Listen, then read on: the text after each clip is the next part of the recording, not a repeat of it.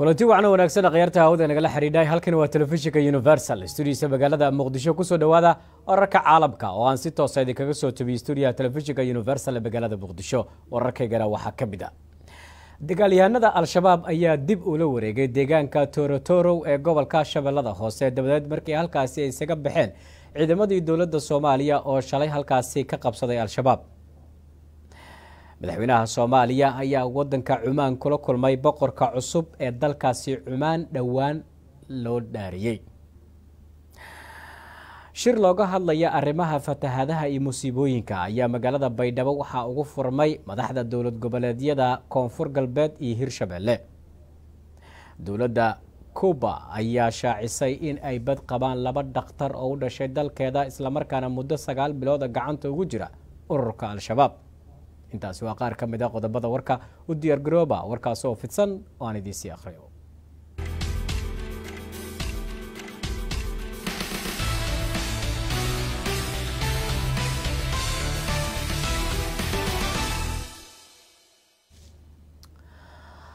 ku soo dhawaada warkii oo fidsan waxaana xilligaa idiin waramaya anigoo cabdicasiis ibraahim axmed oke aan ku bilaabay deegaanka torotoro oo shan iyo toddobaatan kilomitir u jira deegaan deegaankaasi magaalada muqdisho ayaa waxaa dib u qabsaday ururka al-shabaab iyadoona markaa isaga baxeen ciidamadii dowladda ee shalay qabsaday deegaankaasi torotoro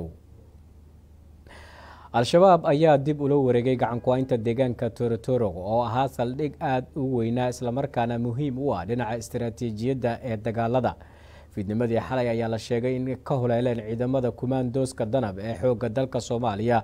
Dadka deegaanka ayaa sheegay in dagaalyahanada al-shabaab oo ku qalabaysan dabaabaadka dagaalka inay halkaasi saaka dib ula wareegeen.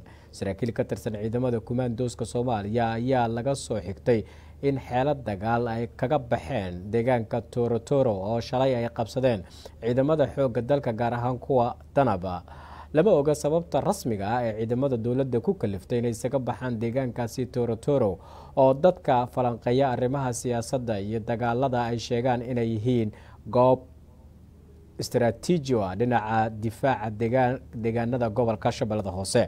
Ciidamada dowladda ayaa dhowr jeer oo hore waxa ay ka baxeen deegaankaasi torotoro oo ay markaasi marar badan ka qabsadeen ururka al-shabaab. Waxaa la soo sheegayaa in ururka al-shabaab ay qabsadeen gacan ku-haynta deegaankaasi torotoro oo shalay wakhti kooban ay ku sugnaayeen ciidamada dowladda soomaaliya.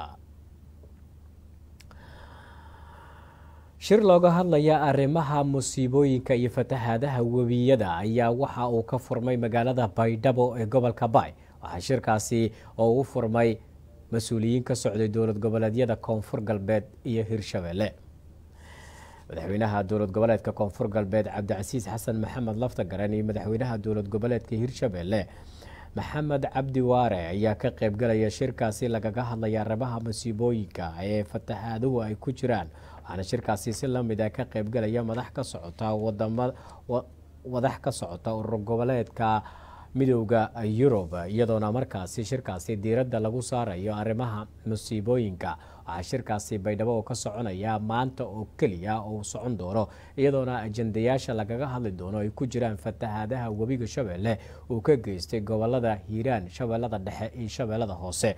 Waxaa si gaara lagaga hadlayaa fatahaadaha dhankaasi ka imaanaya webiyada iyo daadadka roobabka iyo musiibooyinka dabiiciga intuba.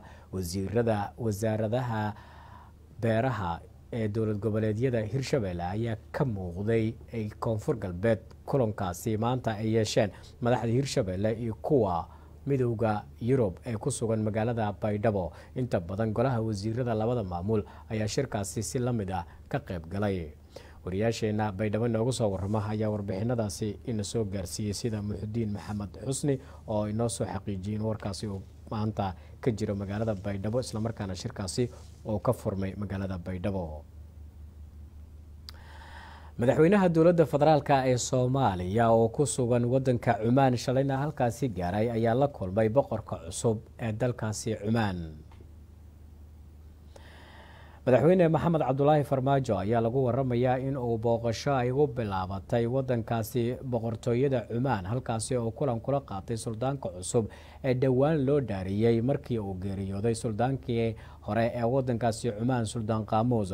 Suldaanka cusub ee wadankaasi cumaan suldaan haytam ayaa waxaa la kulmay madaxweynaha dowladda federaalka ee soomaaliya wuxuuna ugu tacsiidiyey tacsida ku timid boqorkii hore ee wadankaasi cumaan dhinacaasi boqortooyada markaa muddada dheer soo maamulayay.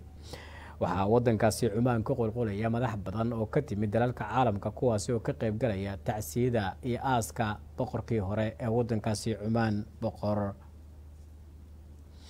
oo dhowaan ku geeriyooday wadankaasi boqor qaamuus ayaa waxaa la sheegayaa in loo sameyn doono aas qaran oo markaasi ay ka qeybgalayaan madax badan oo dunida caalamka ka kala yimid. Madaxweynaha soomaaliya ayaana ka mid ah tacsiyada madaxda ka qeybgalaysa ee wadankaasi cumaan lagu qabanayo.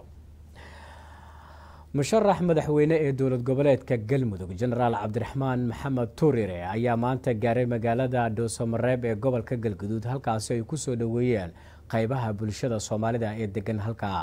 Waryahayga maxamed cabdiweli toxow ayaa warkaa inoo soo diray jenaraal cabdiraxmaan maxamed tuuryare oo ka mid ah musharaxiinta u taagan xilka madaxweynaha galmudug ayaa maanta waxa uu soo gaaray magaalada dhuusamareeb ee caasimada galmudug. Musharaxa ayaa waxaa garoonka diyaaradaha magaalada dhuusamareeb ku soo dhoweeyey mas'uuliyiin ka tirsan maamulka degmada xildhibaano ka tirsan baarlamaanka galmudug iyo qeybaha kala duwan ee bulshada ku nool magaalada dhuusamareeb ugu horeyn ayaa waxaa halkaasi ka hadlaya qaar ka mid ah bulshada soo dhoweysay musharaxa madaxweyne u dhiman tahay dhaartii. Annaga haddaan nahay reer galmudug annagaa ku dhaaranayna madaxweyne intaas maanta qof u taagan tahay saraakiishii u taagan tahay shacabkii u taagan taa tahay. Madaxweyne ku soo dhawow dhallinyaradii oo kugu soo dhaweynaysa qalbi furan. Annaga haddaan nahay dhallinyarada galmudug waxaan u baahannahay madaxweyne naga saara mugdigan ku jirno garaangartan ku jirno. Midba meel ka soo saar. Inta saanad xoog badan baabuur u saartana qaarba meel ku sii daa. Doqon looma seexday hasaldhiga ammaanku galmudug aad baan idinkugu mahad celinayaa gabdhaha calanka ku mariiman oo runtii sida safkaah quruxda badan u taagan iyo kooxda garabkayga bidix taagan. Aad baan idinkugu mahad celinayaa quruxdiinna. Waxaan ku leenaha mudane madaxweyne musharax madaxweyne ku soo dhowaaw halka waxaa isugu yimiday bulshada maamul goboleedka galmudug khaasatan caasimadda dhuusamareeb oon kala maqnayn sida duqa ugu daafuraba ununkana waxaan ku leenahay soo dhowaaw sharaf iyo karaami cizi allah kuu yeelo. Ummaddanna waxay kaa sugaysaa aaday waxay uga ooman tahay maamul samata bixiya. Doorashadaadii ku soo dhowow dadkaagii ku soo dhowow waxaan hubaa in haddii la fiiriyo soomaalida nin walba zifi ayuu leeyahay. Zifigaagana uusan xumaan ku jirin. Zamanka aad joogtana ilaahay idankiisa kii ku guulaysta in ilaahay kaa dhigo. Ku soo dhowow mar labaad iyo mar saddexaad iyo mar afaraad. Jenaraal tuuryare ayaa markuu soo gaaray magaalada dhuusamareeb waxa uu la hadlay shacabkaa soo dhoweeyey waxaana uu ballan qaaday inuu ka shaqayn doono horumarka deegaanada galmudug haddii loo doorto madaxweyne.